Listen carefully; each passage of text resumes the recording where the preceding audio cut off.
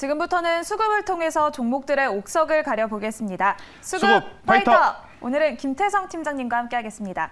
안녕하세요. 네, 안녕하세요. 네, 먼저 수급 현황부터 살펴보도록 하겠습니다. 오늘도 오전에는 또 연 저점을 경신을 네. 했다가 그래도 낙폭을 줄이긴 했습니다. 현재 코스피 시장에서는 개인만 3,100억 원가량 매도를 하고 있고요. 외국인은 500억 원, 기관은 2,500억 원가량 매수를 하고 있습니다.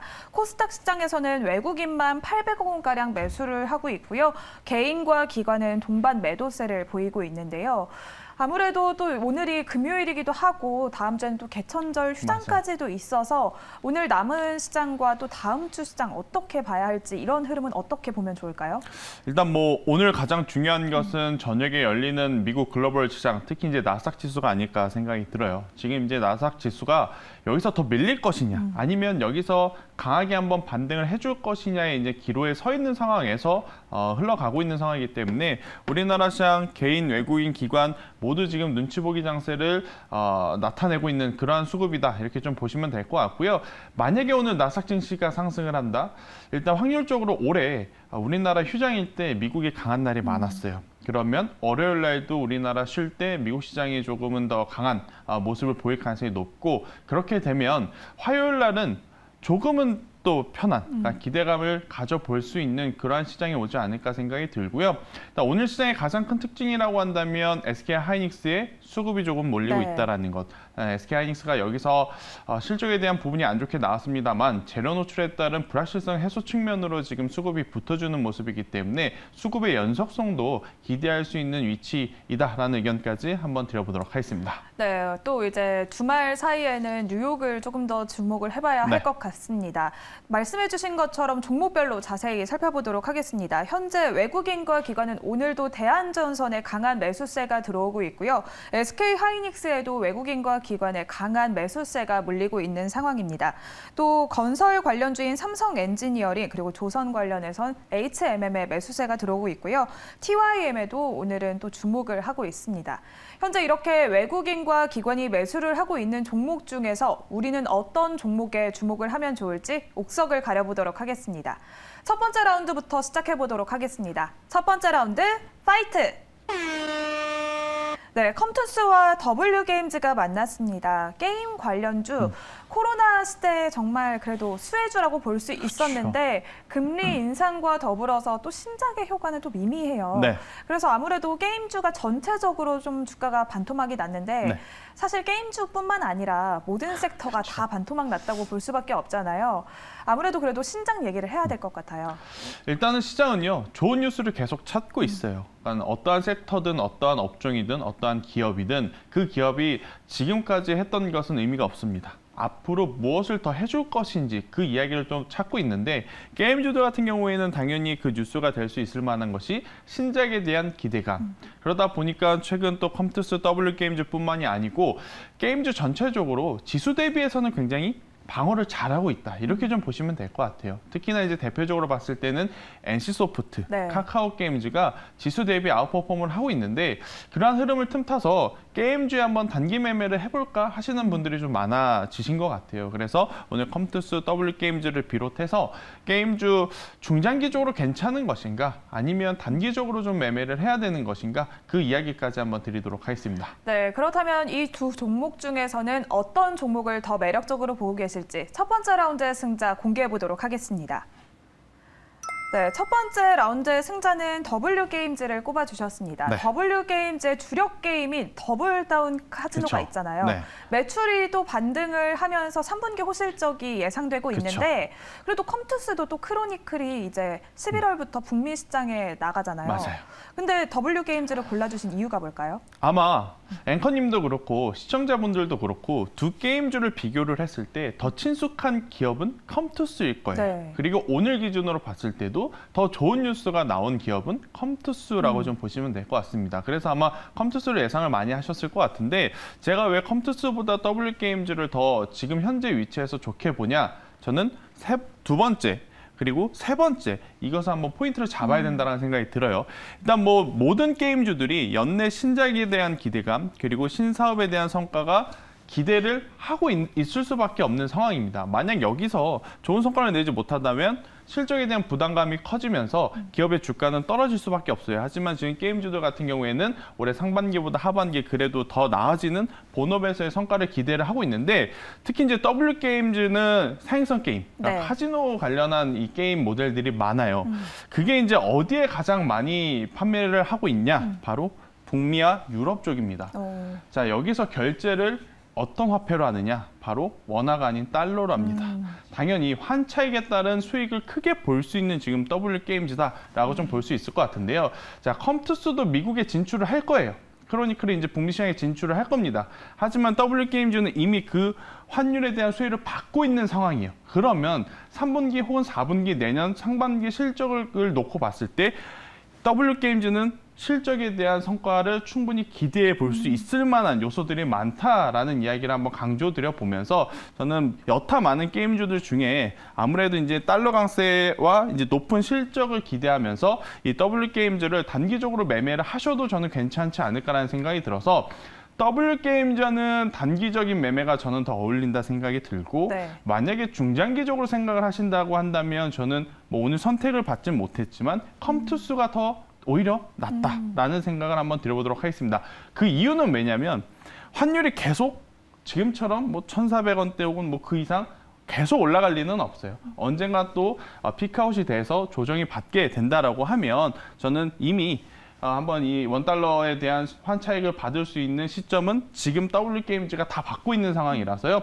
어, 단기적인 실적에 대한 기대감은 W 게임즈가 높고 그리고 중장기적으로의 이제 성장성은 컴투스가 더 긍정적이다라는 의견 한번 드려보도록 하겠습니다. 네, 아무래도 지금 고공행진을 하고 있는 달러를 봤을 때 환차익을 기대할 수 있는 W 게임즈가 지금 시점에서 조금 단기적으로 보기 괜찮겠다라는 의견을 주셨는데요. 그러면 가격 전략 어떻게 세워볼까요? 네, 일단 뭐 더블유게임즈 같은 경우에는 아 제가 방송 들어오기 전까지만 해도 그렇게 시세가 나지 않았는데 이제 조금씩 올라가고 어. 있는 상황이에요. 그래도 이제 오늘 종가에 저는 trading을 하시는 게 아, 가, 가장 좋지 않을까라는 생각이 들고 있고요.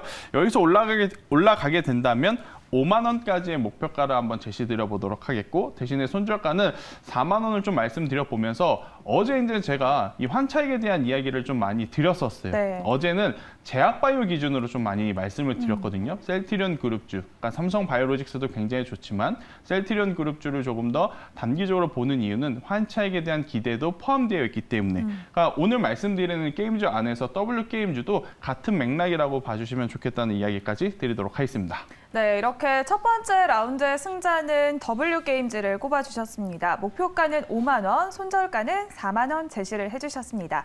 그러면 두 번째 라운드로 바로 넘어가 보도록 하겠습니다. 두 번째 라운드 fight!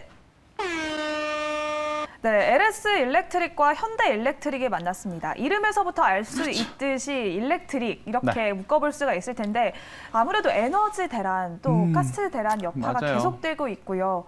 이렇게 좀 에너지를 저장할 수 있는 그리고 수혜주로 볼 수 있는 이 두 기업에 주목을 하고 계신 것 같은데 네. 두 종목을 자세히 나눠보자면 어떻게 보면 좋을까요? 일단 LS 일렉트릭과 현대 일렉트릭 중에 어느 기업이 더 미국발 매출이 높은가? 혹은 지금 현재 이 에너지 대란을 통해서 더 많은 돈을 벌어들일 수 있는 기업, 그러니까 지금 당장 더 많은 돈을 벌어들일 수 있는 기업이 어딜까? 이 부분을 저는 고민을 해봐야 된다는 생각이 들어요. 그래서 지금 변압기 기준으로 어, 고민을 좀 많이 하실 것 같습니다. 뭐 LS 일렉트릭도 있고 현대 일렉트릭도 있고 그 앞전에 우리가 수급 파이터 시간 때 계속 강조드렸었던 제룡전기라고 하는 네. 우리 국내 기업도 있어요. 그러니까 중소형 기업도 있었는데 이러한 기업들 굉장히 시세가 좋습니다. 음, 지수가 밀렸을 때 밀리지 않았어요. 그리고 오늘 좋은 모습들을 보이고 있어서 이 추세가 어디까지 더 갈 것인가 아, 고민을 좀 많이들 하실 것 같아서요. 이 두 기업 한번 비교해 보는 게 좋을 것 같다라는 의견 드리도록 하겠습니다. 네, 그렇다면 LS 일렉트릭과 현대 일렉트릭 중에서 어떤 종목을 더 매력적으로 보고 계실지 두 번째 라운드의 승자 바로 공개해 보겠습니다. 네, 두 번째 라운드의 승자는 현대 일렉트릭을 꼽아주셨습니다. 네. 현대 일렉트릭이 수주가 정말 계속해서 그렇죠. 증가를 하고 네. 있는데 또 얼마 전에는 중동과 어마어마한 규모의 공급 맞아요. 계약을 체결을 했잖아요. 일단 현대 일렉트릭의 주 고객사, 고객처는 북미 시장과 중동이라고 음. 이제 어, 말씀드릴 수 있을 것 같아요. 중동 쪽에서의 유가라든지 조선 관련한 수주가 굉장히 큰 게 나왔었고, 그리고 이제 북미 시장에서의 이 변압기 시장에서의 수주는 계속 이어지고 있다라는 것. 지금 바이든 대통령이 IRA를 이야기를 했죠. 네. 어, 인플레이션 감축법에 대한 이야기를 하면서 한 가지 우리나라의 지금 가장 큰 문제점이 뭐죠? 바로 우리나라 제조업 기업들이 미국의 공장을 빨리 지어서 라인을 깔아야 된다는 것. 가서 건물 짓는다고 바로 기계 돌아가나요? 아니죠. 거기에 뭐가 들어가야 되죠? 전기가 들어가야 된다는 것. 아, 그에 따른 수혜를 지금 이 변압기 관련한 현대 일렉트릭을 포함해서 뭐 LS 일렉트릭도 그렇고 많은 이 발전기 기업들이 수혜를 받을 수 있는 업황이 계속 이어지고 있다라는 거예요.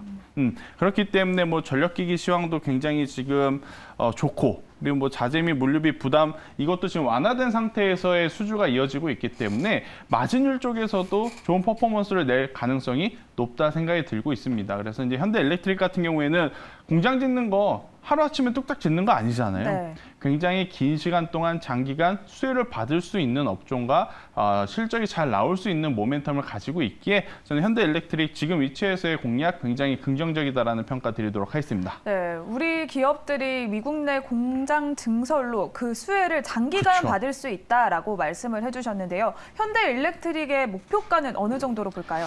네, 일단 뭐 현대 일렉트릭 같은 경우에는 차트를 보시면 아 내가 이 종목을 갖고 있을 걸.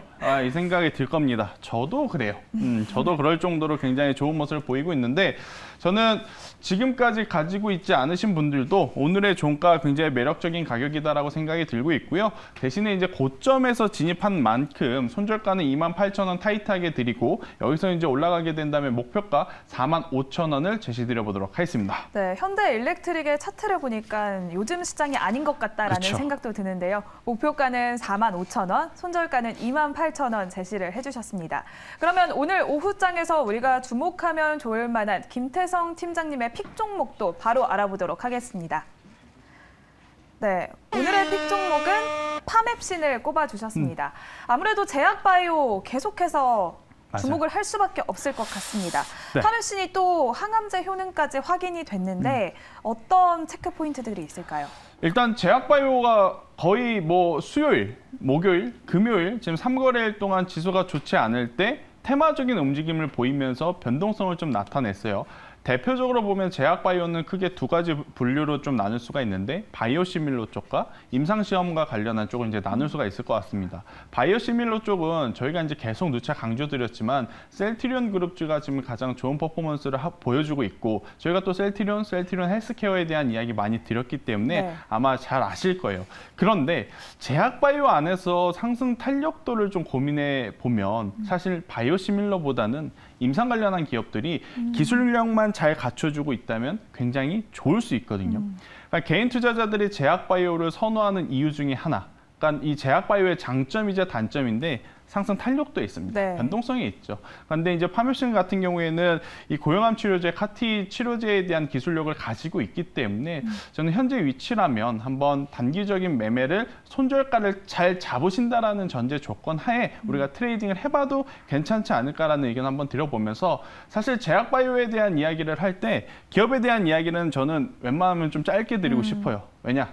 저도 정확하게 막 몰라요. 근데 이제 이걸 전해 듣는 시청자분들도 사실 아 이 기업이 그래서 좋고 뭐 그래서 나쁘고 이거보다는 저는 아 거래 거래와 수급을 보면서 지금 단기적인 매매를 하시는 게 더 낫지 않을까라는 이야기를 한번 드려보도록 하겠습니다. 네, 아무래도 임상이 또 1, 2상이 있다 보니까 맞아요. 이렇게 1, 2, 3상 진행 중에서 좀 변동폭이 크게 나타날 수 있다라고 말씀을 그렇죠. 해 주셨습니다.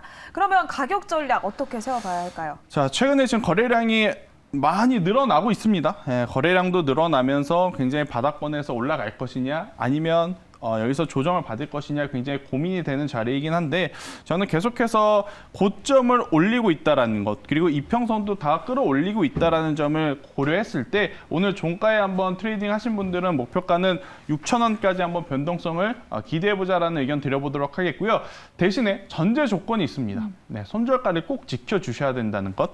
3,500원이라는 가격대가 이탈이 되게 되면 그때는 이유 불문. 네, 왜 떨어지는지 막 이유를 찾고 어, 행복해로 희망해로 돌리지 마시고 3,500원이라는 가격대가 이탈이 되게 되면 무조건 손절한다라는 전략으로 대응을 해주셔야 된다는 이야기 드리도록 하겠습니다. 네, 이렇게 오늘 팀장님의 픽 종목은 파맵신을 꼽아주셨습니다. 목표가는 6,000원, 리스크 관리 굉장히 중요하겠죠. 손절가는 3,500원 제시를 해주셨습니다. 이렇게 오늘 김태성 팀장님과 함께 수급을 통해서 종목들의 옥석을 가려봤습니다. 오늘 말씀 고맙습니다.